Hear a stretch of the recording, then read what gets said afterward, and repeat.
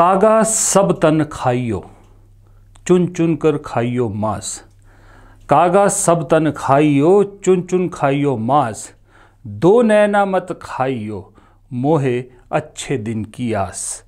जी हाँ ये किसी ने मुझे फॉरवर्ड किया था तो मुझे लगा आज आपसे इसी से शुरुआत की जाए, क्योंकि पिछले दस साल से दरअसल बहुत सारे लोगों को यही आस थी कि अच्छे दिन आएँगे, अच्छे दिन आएँगे।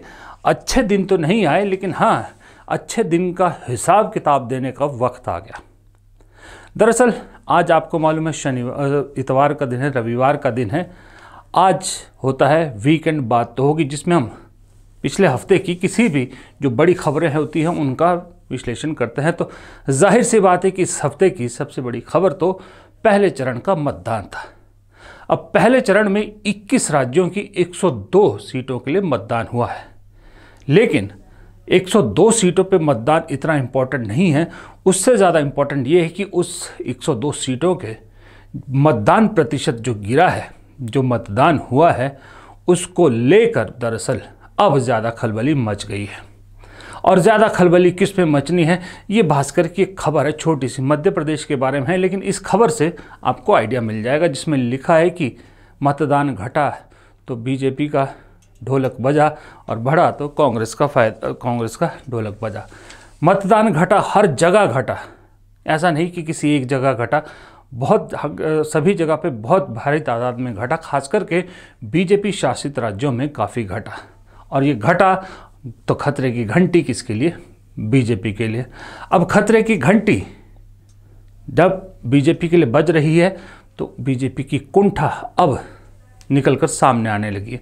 अब आप उसे कुंठा कहिए, उसको बौखलाहट कहिए, उसको फ्रस्ट्रेशन कहिए, जो शब्द आपको ठीक लगे वो इस्तेमाल कर लीजिए। लेकिन मतलब आप समझ लीजिए कि बीजेपी के चेहरे पर, बीजेपी के नेताओं के चेहरे पर अब ये सारी चीज़ें सामने आने लगी है।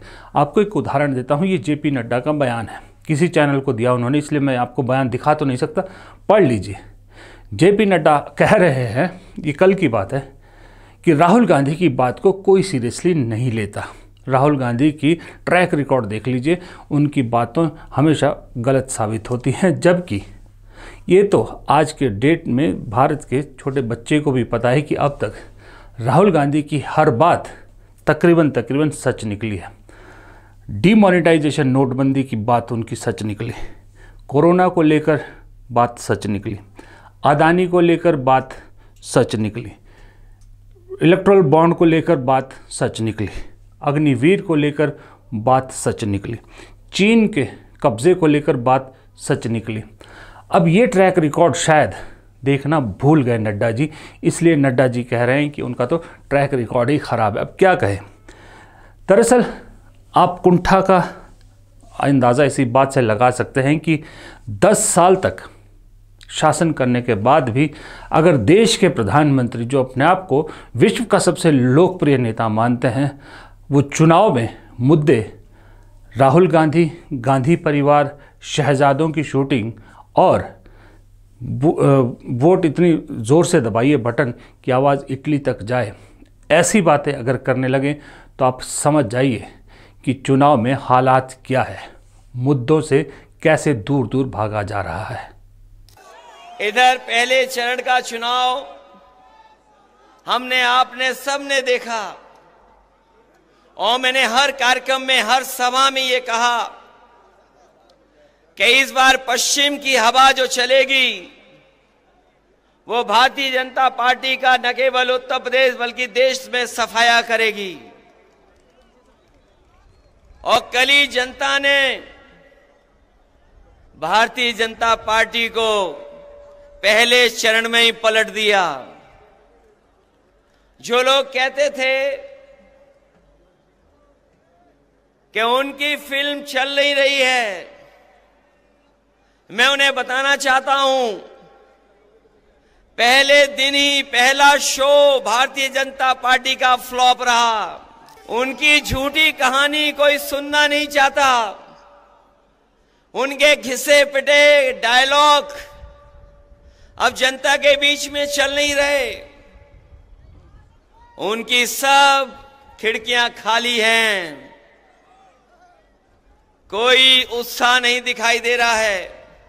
दरअसल, इस पूरे हफ़्ते का विश्लेषण अगर मैं करूँ तो इस विश्लेषण का निचोड़ मेरे हिसाब से ये निकलता है कि बीजेपी की जो कुंठा निकल कर सामने आ रही है। दरअसल, ये एक बात पे पूरा सबूत देती है एक बात का, कि जो नड्डा जी कह रहे हैं ना वो इसलिए कह रहे हैं कि उन्हें ये डर सता रहा है कि राहुल गांधी की एक और बात सच ना हो जाए कहीं, या सच होने वाली है। जी हाँ राहुल गांधी ने बड़े ज़ोर से पिछले तीन चार दिनों से कहना शुरू कर दिया कि बीजेपी 150 सीट से ज़्यादा नहीं जीतेगी। पहले 180 उन्होंने आंकड़ा दिया था, लेकिन पहले चरण का मतदान होते होते 150 तक पहुँच गए वो। कहने को, वो भी बड़े बड़ा फेंक सकते हैं ना कि सौ से कम रह जाएगी, बीजेपी ये हो जाएगी, वो हो जाएगी। उन्होंने डेढ़ सौ के आसपास का आंकड़ा दिया है और साथ में ये भी दावा किया है कि अंडर करंट उनके पक्ष में है और बीजेपी के खिलाफ है इसलिए। और यही बात अब पूरा इंडिया अलायंस भी कह रहा है। ये जो बीजेपी के लोग बोल रहे हैं जितनी सीटें आएँगी, उतनी सीटें आएँगी, मैं सीधा बता देता हूँ आपको, इनको 150 से ज़्यादा नहीं मिलने वाली है। ये जो भी कहना चाहे कह लो। 150 से एक ज़्यादा नहीं आने वाली। ये जो मोदी जी का जो फ़िल्म है 400 पार का, पहला दिन ही पहले फ़ेज़ में सुपर फ्लॉप हो गया है। अब इनका झूठ का पहाड़, जुमलों का पहाड़, बिहार की जनता ने दहा दिया है। अभी जो कुंठा वाली बात है ना कुंठा वाली बात सिर्फ़ बीजेपी तक नहीं रहेगी, पूरे बीजेपी के जो खासम खास सहयोगी बने हैं ना, उन तक भी पहुँच गई अब आप एक और खासम खास सहयोगी नीतीश कुमार। नीतीश कुमार ने लालू प्रसाद यादव को देकर जो बेहुदा बयान दिया है उसमें मैं कुछ नहीं बोलूँगा, आप ज़रा खुद सुन लीजिए। आपने में से बहुत सारे लोगों ने सुना होगा कि लालू के परिवार को लेकर उन्होंने क्या बोला। लेकिन आजकल जब क्लेम करते हैं, हट गए तब बीबी को बना दिया। अब आजकल बाल बच्चा को अब पैदा तो बहुत कर दिया। इतना ज़्यादा पैदा करना चाहिए किसी को। बाल बच्चा, लेकिन उतना किया। और उसी में कई गो बेटी को, दुगो बेटा को, सबको लगा करके। अब आप समझ लीजिए कि ये लोग क्या करते हैं कहीं कहीं कुछ बोलते रहते हैं। तो कहीं पुरानी बात को भूल जाते हैं, इसलिए हम सब जगह आपको बता देना चाहते हैं कि कोई काम नहीं होता था। और इतना ज़्यादा होता था जी? कोई बाहर नहीं निकलता था, आने जाने का रास्ता नहीं था, पढ़ाई नहीं था, कोई इंतज़ाम कहीं पर नहीं था, इलाज तक नहीं होता था, क्या हालत था? लेकिन इसके जवाब में तेजस्वी यादव ने जो जवाब दिया है, वो बयान अपने आप में काबिल तारीफ़ है। हाथ जोड़ करके मुख्यमंत्री जी को सुप्रा भाई। यही कहना चाहते हैं। कि आप अभिभावक हैं बुज़ुर्ग हैं। राजेश भाई ठीक है? सम्मान करते थे करते रहेंगे। आपका अधिकार है कुछ भी आप हमको कह सकते हैं।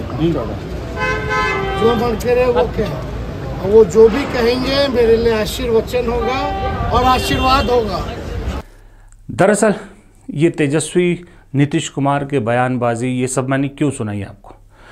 एक चीज़ आपने नोट की होगी 2014 हो, चाहे 2019 हो, चाहे बीच के कोई विधानसभा चुनाव। हो प्रधानमंत्री और पूरी बीजेपी एक नैरेटिव सेट करते थे और उस नैरेटिव के चारों तरफ़ पूरा विपक्ष घूमता था। प्रधानमंत्री और बीजेपी कोई बयान देते थे तो विपक्ष उस पर टूट पड़ता था, फिर उल्टे सीधे बयान आते थे तीखे बयान आते थे और बीजेपी उसको कैश करती थी। लेकिन इस बार आप लोगों ने एक चीज़ नोट की होगी कि जो जितने भी टेढ़े मेढ़े घटिया बयान हैं, टेढ़, तीखे बयान हैं, वो सब के सब एनडीए के सहयोगियों से बीजेपी की तरफ़ से आ रहे हैं। लेकिन दूसरी तरफ़ से जवाब बड़ा सौम्य, बड़ा सौहार्द वाला जवाब मिल रहा है। कोई तीखी प्रतिक्रिया नहीं मिल रही बड़ी कोशिश कर ली प्रधानमंत्री ने कि गांधी परिवार पर लगातार अटैक कर करके कुछ तो ऐसा बयान निकलवाया जाए, सामने की तरफ़ से कुछ ऐसा रिएक्शन निकलवाया जाए जिसको वो कैश कर पाएँ। लेकिन कल के वीडियो में भी मैंने कहा था कि इस बार विपक्ष ने एक बहुत ज़बरदस्त काम ये किया है कि वो अपने मुद्दों से नहीं भटक रहे। राहुल गांधी हो, प्रियंका गांधी हो, खड़गे हो या अखिलेश यादव हो, तेजस्वी हो, यहाँ तक कि आम आदमी पार्टी के नेता हो, कोई भी हो, स्टालिन हो सब मुद्दों पर टिके हुए हैं। पूरी इस बार कैंपेन जो विपक्ष का है, खास करके इंडिया अलायंस का, वो अपने मुद्दों पर टिका हुआ है अपने अपने मैनिफेस्टो पर टिके हुए हैं।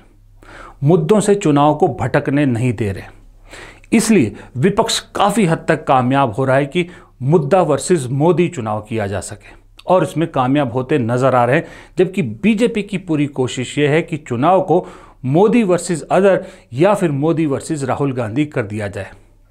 उससे होगा क्या? मोदी वर्सेस राहुल गांधी करने से एक तो जो इंडिया अलायंस के घटक है, उन्हीं में आपस में फूट पड़ने का चांस बढ़ जाता है। लेकिन इंडिया गठबंधन के लोगों ने, नेताओं ने पूरा बीजेपी के प्लान को चौपट कर दिया है। वो मुद्दों से भटकी ही नहीं रहे। इसलिए आपको 10 साल में शायद पहली बार ऐसा देखने को मिल रहा होगा कि बहुत सारी जगह पर लोकसभा चुनाव स्थानीय मुद्दे भारी पड़ रहे हैं महँगाई, बेरोजगारी, अग्निवीर। ये तीन मुद्दे तो कॉमन है सब जगह पर। लेकिन इसके अलावा स्थानीय मुद्दे बहुत सारी जगह पर उठ रहे हैं और जहाँ जहाँ स्थानीय मुद्दे उठ रहे हैं वहाँ वहाँ बीजेपी को दिक्कत आ रही है। ऊपर से राजपूत समाज का जो विद्रोह ठीक लास्ट मोमेंट पे बीजेपी के खिलाफ हुआ है, वो बहुत भारी पड़ रहा आप विजुअल देख रहे हैं कि राजपूत समाज आज भी जगह जगह पर कस्में खा खा कर अपने पूरे समुदाय में कस्में खिला रहा है कि बीजेपी को वोट नहीं देंगे, बीजेपी को हरा के रहेंगे। किसान पहले नाराज़ था, युवा, अग्निवीर और बेरोजगारी से नाराज़ था। ऊपर से बीजेपी के नेताओं ने जो संविधान बदलने की धमकी देकर दलितों, अल्प समुदाय और जो ओबीसी वर्ग है, पिछड़ा वर्ग है, उसके दिल में भी एक तरह का डर बैठा दिया। तो यानी सब चीज़ें इस एक हफ़्ते में, पिछले हफ़्ते में बीजेपी के खिलाफ गई है।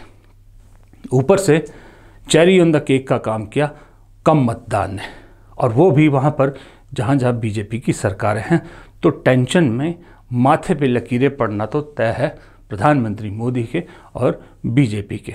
और इसीलिए शायद अब वही अपने पुराने तरीके अपना रहे हैं तो आ, इलेक्शन कमीशन को फिर उसी चीज़ में लगा दिया है। इलेक्शन कमीशन ने बाकायदा उद्धव ठाकरे शिवसेना को एक नोटिस जारी किया। आपको एग्ज़ाम्पल दिखाता हूँ। क्या नोटिस जारी किया? कि उन्होंने जो एक थीम सॉन्ग बनाया, उसमें हिंदू शब्द और माँ भवानी शब्द का इस्तेमाल किया है, उन्हें हटाया जाए। हालाँकि उद्धव ठाकरे ने धमकी दी है या चेतावनी दी है कि वो ये नहीं हटाएँगे, इलेक्शन कमीशन जो चाहे कर ले। लेकिन इसी इलेक्शन कमीशन को ये पीयूष गोयल का जो रथ है, ये नहीं दिख रहा, जहाँ पर साफ़ साफ़ धर्म के नाम पर वोट मांगा जा रहा है, कहा जा रहा है, जो राम को लाए थे, हम उसको लाएँगे। ये चुनाव आयोग को नहीं दिख रहा। दूसरा मैं आपको दिखाता हूँ एक वीडियो कॉल। आजकल हमारे इलाके में लगातार ये वीडियो कॉल आ रहा है। पहले दौर का मतदान हो चुका है। इस बीच भी एक कॉल आ रही है जो कह रही है कि जिस पे लिखा आता है कि लोकसभा चुनाव सर्वे। ये चुनाव आचार संहिता का सरासर उल्लंघन है। जब कोई सर्वे पब्लिश नहीं हो सकता तो क्यों ये कॉल लोगों को जा रही है? ज़रा सुनिए, देखिए किस तरह से कंप्यूटराइज कॉल। दिन में दो दो तीन तीन बार इस नॉर्थ इंडिया के इलाकों में लोगों को जा रही है। चुनाव आज होते हैं तो आप अपने क्षेत्र शिमला में किस पार्टी को वोट देंगे? कांग्रेस पार्टी के लिए पाँच दबाएँ भारतीय जनता पार्टी के लिए छह दबाएँ किसी अन्य पार्टी के लिए आठ दबाएँ। अब आप बताइए ये चीज़ें चुनाव आयोग को नहीं दिख रही लेकिन उद्धव ठाकरे की शिवसेना का वो हिंदू शब्द और जय भवानी शब्द चुभ रहा है। तो इस तरह के, अब जो दूसरी तरह के हथकंडे अपनाती है ना सरकार, ये बीजेपी खास करके चुनाव जीतने के लिए, अब वो शुरू हो गए हैं।